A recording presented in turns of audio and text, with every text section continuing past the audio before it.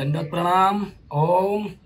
आज हम बस दो मिनट में देखेंगे हमारी फेफड़ों की क्षमता कैसी बढ़ती है और हमारा नेरुदंड लचीला कैसा होता है। बस कुछ चुटकियों में उसका लाभ हमें मिलता है। ऐसा आसन है जिसका नाम है धनुर आसन। देखिए, पेट के बल लेट करके जो हमारे फेफड़ों की क्षमता का भी बढ़ाएगा। और तो और जो हमारे नेरुदंड को लचीला भी कर देगा।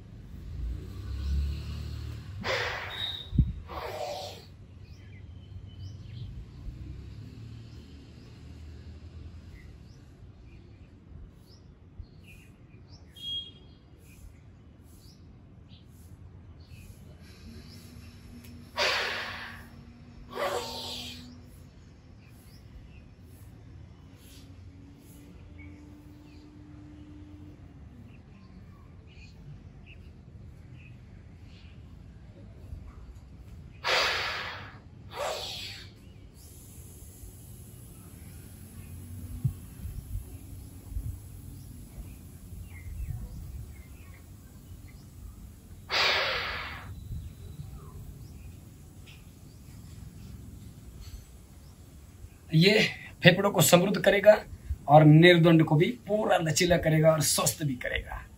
धन्यवाद।